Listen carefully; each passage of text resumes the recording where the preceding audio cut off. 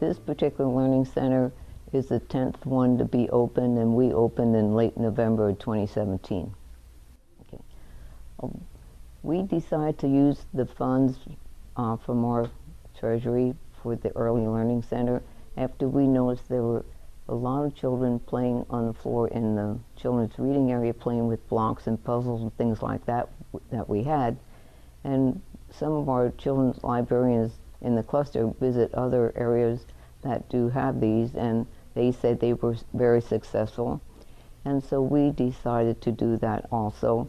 And we have a program called KC Kids that uh, here on Monday mornings with mothers and young children. So we just thought it'd be a continuation of that. So there'd be things here all week for them to use.